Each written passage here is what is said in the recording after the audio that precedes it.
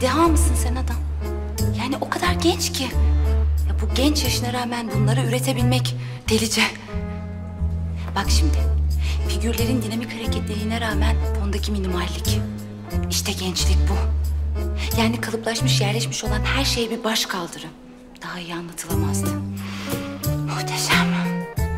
Başak. Şundan bahsediyoruz değil mi? Ne yapıyorsun? Bu işin bir parçası. Niye üstüne basıyorsun? Başak ben bu... Ya elim. Dalaş ama, dalaş gerçekten. Yapma. O kadar klişesin ki. Yani eğer entelektüel kelimesini cümle içinde küçümseyerek kullanırsan gerçekten yüzeysel bir insan olacaksın ya. Başak yemin ederim ben onun o şey olduğunu algılayamadım yani. Sus artık, sus. Beni yalnız bırak. Sadece biraz seyretmek istiyorum tamam mı? Sus. Onlar bir bütün.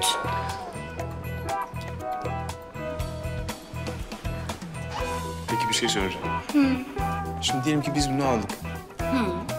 Bu talaşları süpürüp poşete mi koyacaklar? Evde ağzımıza burnumuza kaçar. Bu ne? Ya susar mısın? Duyacaklar sus.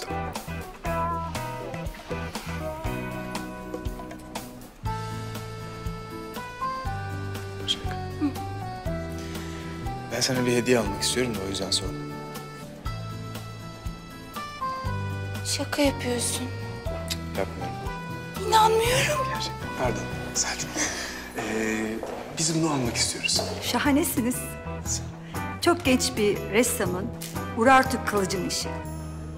Sizin de gözünüz keskinmiş. Kısa bir süre sonra çağdaş sanatın gözdesi olacağını düşünüyoruz.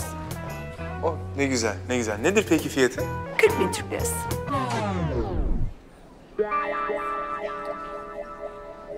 Kaç bin Türk lirası? 40 bin.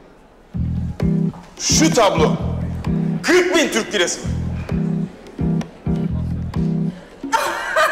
Bu kadar ucuz mu demek istiyor?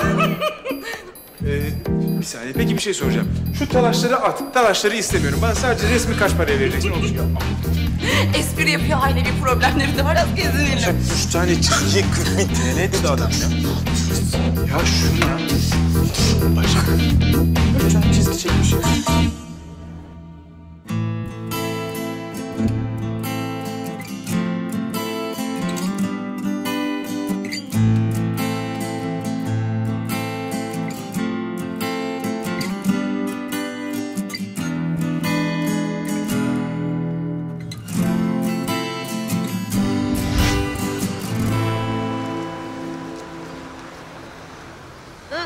Her zamanki yerimiz dediğin an anlamalıydım burası olduğunu. Gerçi her zaman birlikte geldiğimiz söylenemez. Evet. Tatsız anılarımız da oldu. Ama unutalım bunları ya. Hem bak, nazar gözlü mavişten de kurtulduk. Evet, iyi oldu. Ya ben diyorum ki artık hayatımızda pürüz kalmasın. Kanalımıza abone olarak tüm videolardan anında haberdar olabilirsiniz.